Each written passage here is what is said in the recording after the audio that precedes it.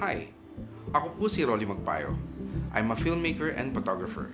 Welcome to my channel. Ang topic ko today ay tungkol sa hard disk drives or HDD. Ano-ano ang mga klase at para saan ito ginagamit.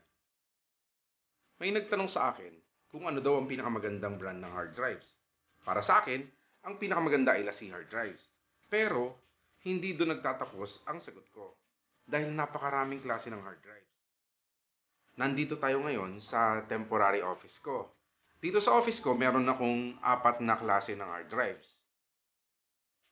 Ito ang Lassie Rugged Mini hard drives. Ah, ito yung portable hard drive na ginagamit ko kapag nagsushoot ako on location. Pero ginagamit ko ito kapag meron akong access sa laptop or kung meron akong access sa isang computer. Itong Rugged Mini ay water resistant and shock resistant. Meron na akong video tungkol sa Lassie Rugged Mini hard drives. Makikita nyo to sa description below.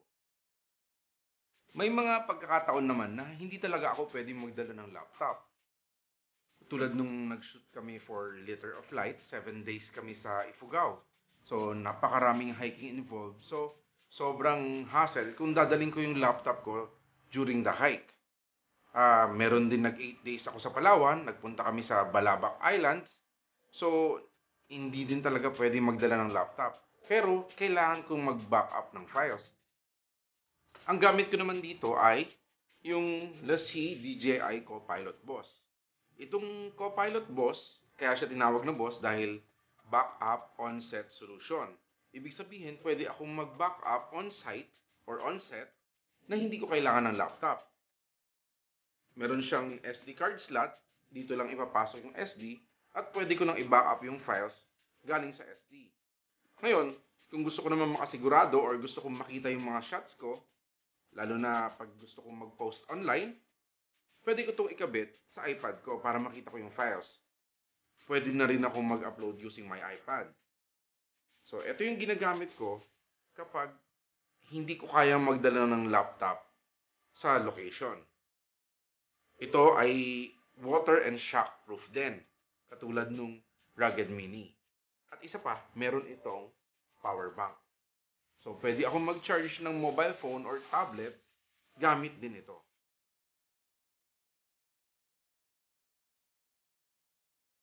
Itong Rugged Mini at itong Lassie DJI Copilot Boss, pareho silang portable hard drives. Ito yung ginagamit ko usually on location. Pero pagdating ko ng office ko, meron akong pinagdadalhan ng lahat ng files.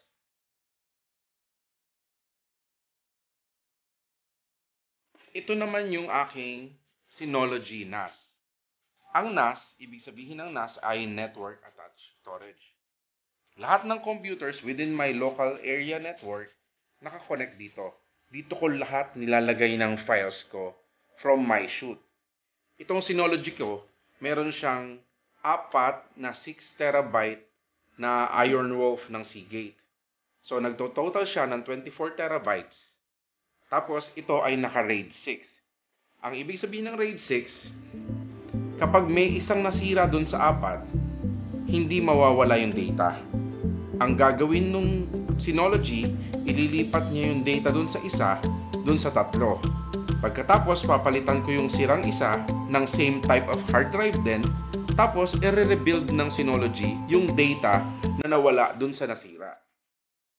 For double safety, lahat ng laman ng Synology ko ay naka-backup din sa mga hard drives na nakalagay sa dry cabinet ng isa kong kaibigan. Yun yung tinatawag kong off-site storage. Na just in case may mangyari dito sa opisina ko, naka-backup pa rin ako sa ibang hard drives off-site. Meron pa akong isang klase ng hard drive. Ito naman yung tinatawag na DAS or Direct Attached Storage.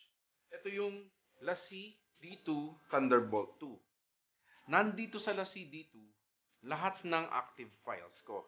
Active meaning photos, videos, and mga current projects. Nandito lahat. Ang advantage nitong Lassie D2 over my portable hard drives, mas mabilis yung kanyang data transfer. Ibig sabihin, hindi bumabagal ang processing ko or yung workflow ko kapag nag edit ako ng photos or videos. Since ito yung mainstay ng workstation ko, pinili ko talaga yung 6 terabytes. Dahil yun yung capacity na hindi naman madaling mauubos sa akin within the year. Eventually, lahat naman ng files ko ilalagay ko dun sa NAS ko. Ngayon, itong Lassi dito, meron siyang 8, meron siyang 10 terabytes. Pero 6 terabytes muna yung pinili ko. Itong D2, gawa ito sa unibody aluminum. Ang aluminum, nagde-dissipate yan ng heat. Tapos yung kanyang fan, whisper quiet. Ibig sabihin, kahit nagre-record ako ng voice-over dito sa computer ko, hindi madidinig yung fan ng aking Lassi D2. At dahil Thunderbolt siya, pwede akong mag-daisy chain ng hanggang anim na Thunderbolt drives. Pero in my case, meron akong dalawang Thunderbolt na nasa ilalim at isang monitor. Yung monitor ko kasi is mini display na ang ginagamit din na port is yung Thunderbolt na port. So naka-daisy chain dito sa Lassi, dalawang Thunderbolt hard drives na nasa ilalim at isang monitor. Ang maganda dito sa Lassi dito, 5 years ang warranty niya. So kung within 5 years masisira yung drive mo, covered pa siya ng warranty. So recap tayo. Itong Rugged Mini, ito yung dinadala ko kapag may shoot ako on location, pero may dala akong laptop. Ito namang the CDJI Copilot Boss, ito yung dala ko on location, pero wala akong dalang laptop. Itong Synology NAS ko na merong Iron Wolf na hard drive sa loob, ito naman yung nilalagyan ko ng lahat ng files ko, both active and inactive. At yung pinakabida ng workstation ko, la CD2, nandyan lahat ng active files. Photos, videos, and current projects. Nandyan lahat. Wala akong nilalagay sa mismong computer ko. Kung hindi pa kayo nakasubscribe, click nyo na yung subscribe button. I-click nyo na rin yung notification bell para ma-alert kayo sa mga susunod kong videos.